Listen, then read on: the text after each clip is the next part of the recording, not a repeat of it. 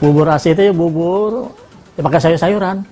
Bubur pakai sayur-sayuran. Iya, ada doa zaman dulu aslinya bubur itu kayak bener-bener asinan aja, ada lobak, lokyo, semacam kayak apa?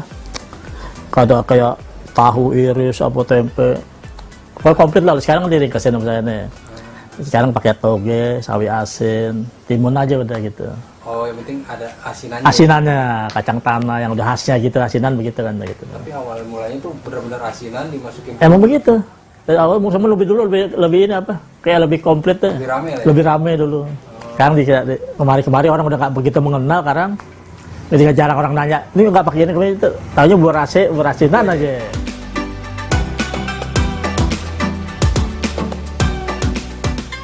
Bubur rasa dari dulu begitu emang.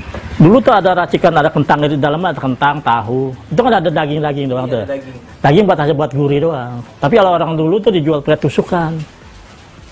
Ada Orang dulu ada tusukan. ada tusukannya kayak Hati. empal, bukan hati aja. Oh, empal. Daging-daging kepala gitu, empal gitu. Makan cocoknya itu orang makan pakai daging kepala. Di kepala Itu tusuk-tusukin sate. Nah, itu menurut saya nggak nggak gitu-gitu aja dan ditaruh situ ada kadang-kadang kalau pagi juga kalau kena kena kesaup ya. kalau nggak kena kena ya asal ada gurih aja udah. udah.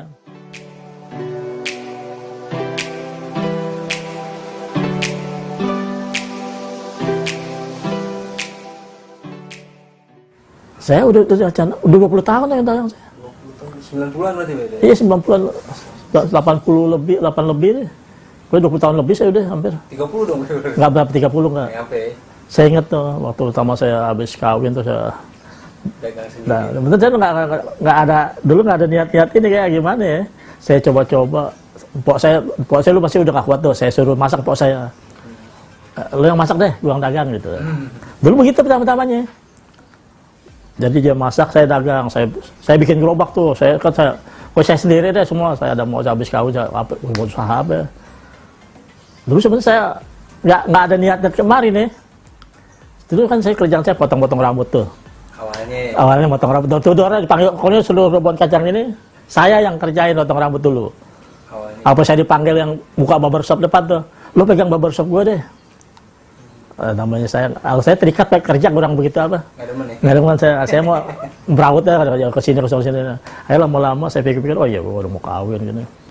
Akhirnya lu mau dagang, gue masakin lu gitu. Dagang pertama di depan bonsai belum sewa tuh di jembatan saya dagang. Dagang terus pulang bawa kemari gerobak. Tiap hari tuh begitu tuh lama-lama lama. Saya pas saya dagang itu kayak orang kayak udah ah, gimana ya? Bang, wah ini baru ketemu lagi makan yang ini bang.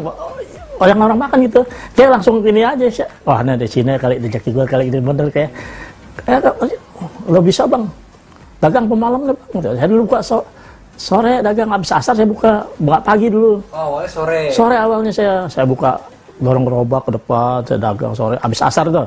Jam 12 11 udah habis ya. Setiap hari orang makan tuh, "Bang, kalau bisa tempat jangan di jalanan begini nih, ngeri nih." Coba ya. biar saya punya tempat deh. Lama-lama saya dikit-dikit dikit saya sewa tempat situ tuh. Sewa saya tempat situ tuh. 20 tahun alhamdulillah tuh.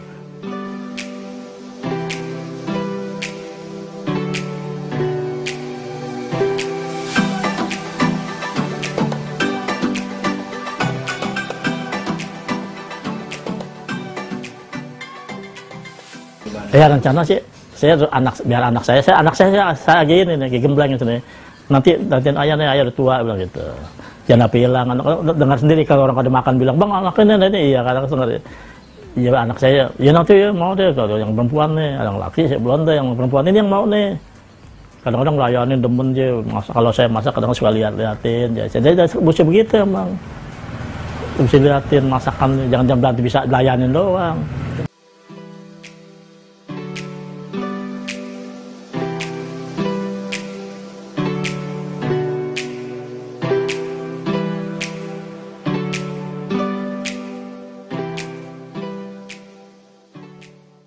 orang tua lu pesen gitu kan. Kalau makanan tuh jangan kurang bumbu. Bumbu ini pasti enak. Jadi saya begitu biar kata "Oh, gimana bumbu biar mahal harganya gimana tetap saya beli tetap segitu harga bumbu nggak dikurang-kurangin. Harga naik boleh dikit. Asal jangan dikurangin bumbu gitu aja. Makanan tuh, kalau makanan begitu kuncinya. jangan coba-coba dikurang-kurang bumbu tuh Selesai. Selesai udah orang nggak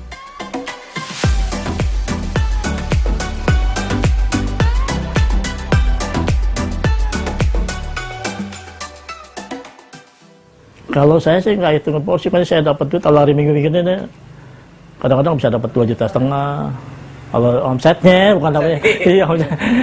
kadang-kadang kalau lagi kalau lagi rame bisa 3 juta kalau lagi rame bener-bener saya lebih sekarang lagi agak begini saya kurang-kurangin nih selama ini saya kurang-kurangin Pandemi. Iya, kurang-kurangin sekarang. Nah itu gimana, Be? Selama pandemi sendiri seberapa ngaruh, Be? Sama Ngaruhnya ada, cuman Iya. karena saya ada online langganan-langganan juga pada datang, ya nggak begitu parah lah. Tetap saya dagang. Terus dari pertama ini dagang terus saya nggak. Emang saya semua saya porsi saya kurangin. Oh, berarti emang secara nggak langsung ada pengur apa penurunan ya? Ada penurunan ada benar. Jauh nggak penurunan? Habis paruh itu. Iya benar bukan bohong. Tapi saya tahanin terus jangan sampai hilang terus saya nih.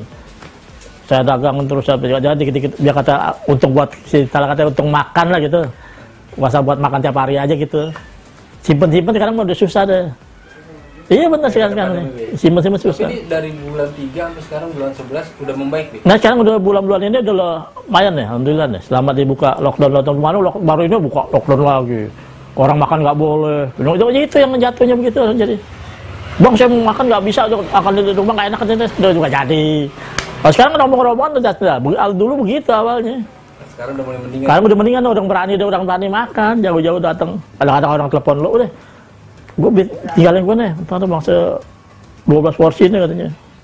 Tak gue mau datang rombongan gitu. Orang dari Bekasi, telepon dulu takut ja- jauh-jauh habis. Gitu aja, kalau jauh-jauh pesan dulu. Malam-malam udah telepon saya, saya keluar keluar dah. Eh besok jangan lupa ya, tinggalin ini ini, gitu. Gue datang ya.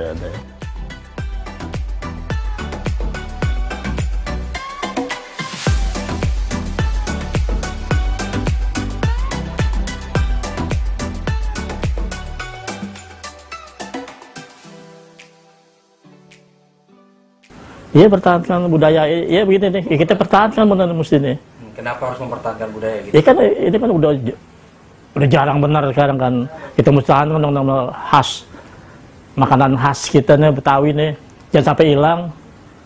Kan makanan lain-lain udah pada ini. Kita mesti lebih ini lagi malah nih.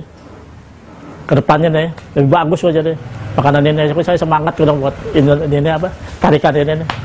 Iya, supaya lebih maju lagi gitu makanan khas ini.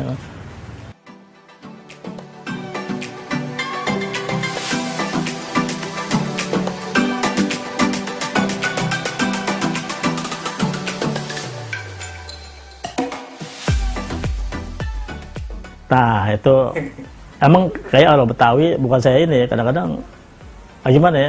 Nggak mau nggak ada nggak mau, saya juga tahu dulu yang ada kepikirnya akhirnya saya udah kawin saya gerakin berani. Nggak ada yang mau mau begini. Gak ada yang mau nerusin ya? nggak ada yang mau nerusin udah. Nggak ada. Saya udah saya males. Gimana tuh aja? Makanya bubur Asia itu nggak banyak yang tahu gitu, Be. kurang. Nah terus kenapa Babe semangat banget nih mempertahankan Iya.